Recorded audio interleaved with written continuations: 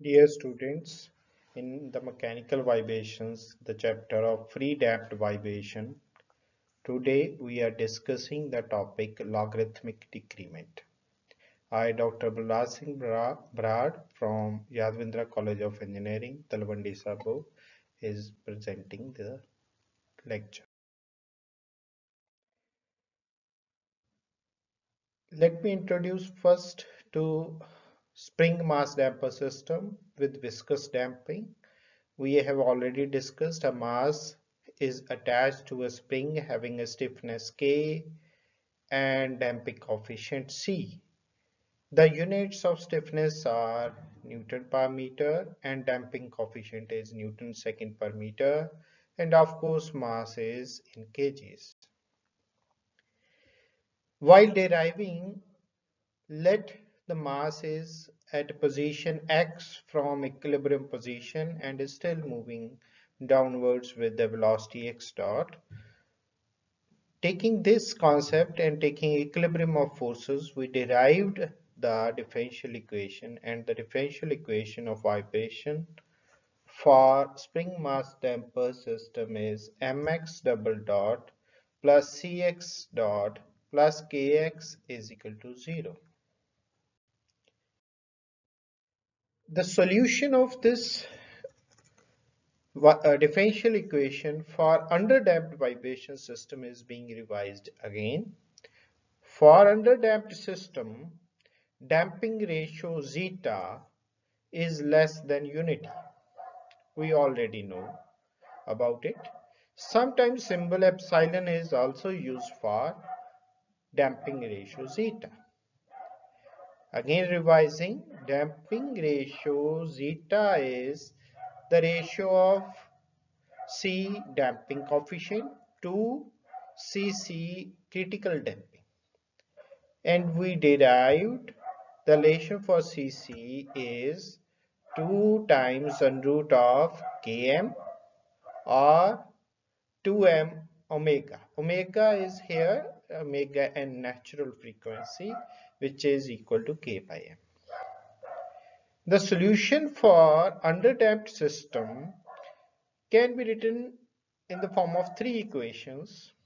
First is x is e raised to power minus zeta omega t into a cos 1 under root of 1 minus zeta square omega t plus b sine under root of 1 minus zeta square omega t or x is c times e raised to power minus zeta omega t into sine and root of 1 minus zeta square omega t plus 5. A phase difference is added. Similarly, we can write the term in cosine in cosine terms, the solution in cosine terms, x is d e raised to power minus zeta omega t cos 1 minus zeta square and root omega t plus phi 2. For the present lecture, the last solution x is d e raised to power minus zeta omega t cosine of and root 1 minus zeta square omega t plus phi 2 will be used. Here the product of root 1 minus zeta square into omega is damped frequency, we already know. Now, coming to the topic logarithmic decrement, let us first define it. It is defined as the natural logarithm of the ratio of any two successive amplitudes on the side on the same side of the mean line. And symbol for logarithmic decrement is delta. We are showing mathematically in the next slide. Here again we have shown that there is a spring mass damper system under vibration and its vibration profile for underdamped vibrations is shown in this figure. Let at the starting time initial displacement is x naught and initial velocity is v naught then the plot takes the profile like this and what we observe that amplitude uh, say first amplitude uh, x1 then after one cycle it is x2 after two cycles x3 after three cycles x4 five cycles x5 and after five cycles x6 it goes on decreasing exponentially. And here now the logarithmic decrement is defined as delta is equal to natural log of first amplitude x1 to second amplitude x2 similarly suppose we start from this position then this will be first amplitude and the next amplitude will be maximum amplitude will be x2 or we can write delta is log of natural log of x2 by x3 so this is. And for underdamped vibration system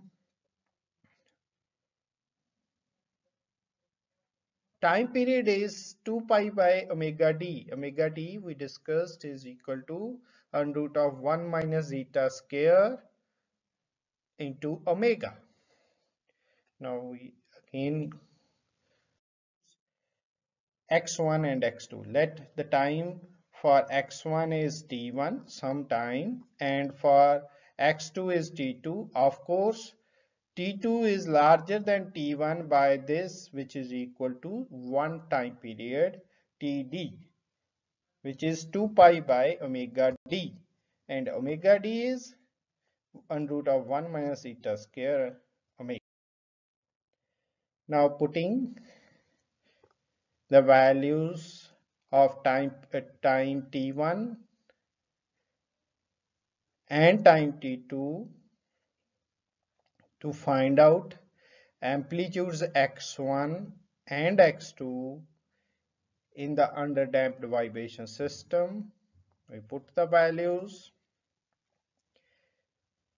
This term has been solved d cancels out in the numerator and denominator and this e when it goes upwards it becomes e raised to power positive zeta omega t2 and when we simplify x1 by x2 is equal to e raised to power minus zeta omega into t1 minus t2 into cosine of on root 1 minus zeta square omega t1 plus phi 2 by cos cosine of on root 1 minus zeta square omega t2 plus phi 2 this equation this is the first equation. We have to simplify this equation in the coming slides.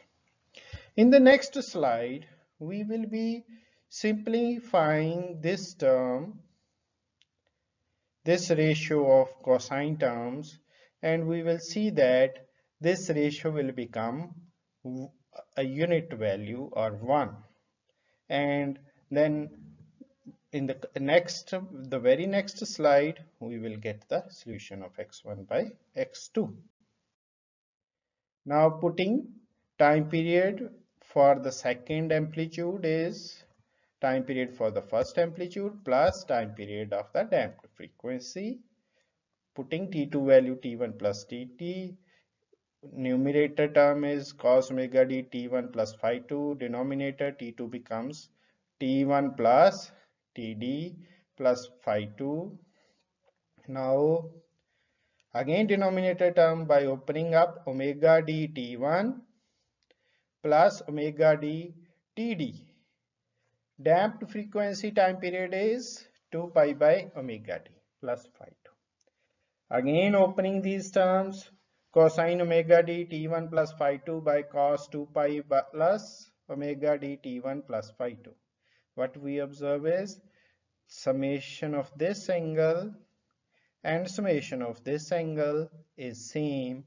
So in denominator we have simply cos 2 pi plus the angle which is in the numerator and cos 2 pi plus that angle will be cos of omega d t1 plus phi 2 numerator and denominator will cancel out and solution becomes 1 now in the next slide we will put this term value 1 in the equation. Now to find out logarithmic decrement from equation 1, we know x1 by x2 is e raised to power minus zeta omega t1 minus t2 into cosine terms like this. In the previous slide, we have solved that ratio of these two cosine terms is unity. So, this equation becomes x1 by x2 e raised to power minus zeta omega t1 minus we put the value of t2 which is minus t1 plus td by solving it x1 by x2 is e raised to power minus zeta omega t1 minus t1 plus td t1 t1 cancels out. It becomes equal to e raised to power minus zeta omega td. Now td is e raised to power minus zeta omega td is 2 pi by omega d. And omega d we already know is for underdamped system omega d is 1 minus zeta square and root into omega. We put this value here and solution becomes x1 by x2 is equal to e raised to power 2 pi zeta omega by e raised to power 2 pi zeta omega by under root of 1 minus zeta square into omega. Now omega omega cancels out and we have a solution e raised to power 2 pi zeta by and root of 1 minus zeta square. When we take natural log on both sides, then log, natural log of x1 by x2 as per the definition it becomes logarithmic decrement delta and now we have the solution that logarithmic decrement delta is equal to natural log of x1 by x2 which will be 2 pi zeta upon 1 minus zeta square under root. Kindly remember this relation to solve various numericals. In the coming slides, we are finding out the approximate value of delta which is usually used in the problems. Next, in this slide, we are discussing approximate value of logarithmic decrement from the previous relation, we have delta logarithmic decrement natural log of x1 by x2 which is 2 pi zeta upon 1 minus zeta square and root. This is equation 2. Now, in the real life problems of underdamped system, usually the damping ratio is very very small or for small values of damping ratio zeta say less than 0.3 then 0.3 square will be 0.09 and this term becomes almost 1 denominator term is almost equal to 1 so delta is almost approximately equal to 2 pi zeta which is used in the in solving the problems where zeta is less than 0.3 and this equation has been termed as 3 now the graph shows that when zeta damping ratio is less less than 0.3 the solution of the two equations delta from second equation and delta from third equations are same. So what we have done for varying zeta we have plotted delta shown by red equation varying zeta showing delta from equation 3 we have shown by dotted blue equation.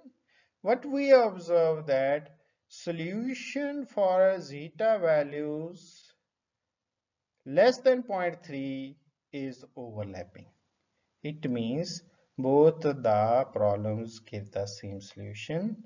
And to use third equation is easier when zeta value is less than 0.3. So the relations which have been derived till now in this lecture is logarithmic decrement delta is defined as natural log of x1 by x2 is equal to 2 pi zeta upon 1 minus zeta square where zeta is damping ratio. For small values of zeta less than 0.3 delta is approximately equal to 2 pi zeta. The, in this slide, we are discussing the logarithmic decrement for n cycles for underdamped vibration system. So we have underdamped vibration profile is there. Suppose we start from first amplitude x1 after first cycle, we get second amplitude on the same side of the mean line x2. Time taken is one time period. After two cycles, after two cycles, we reach to amplitude x3. After three cycles, we reach to x4.